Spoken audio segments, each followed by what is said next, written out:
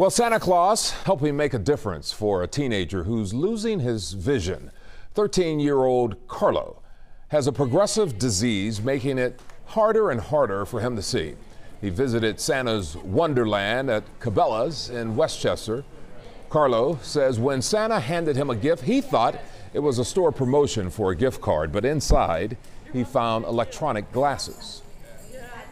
We went in the room and we tried these on, and I was, I was amazed. I was like, I can, I can see.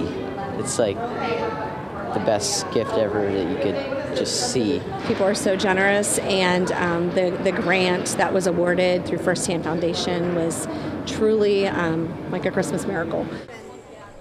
Amazing story, huh?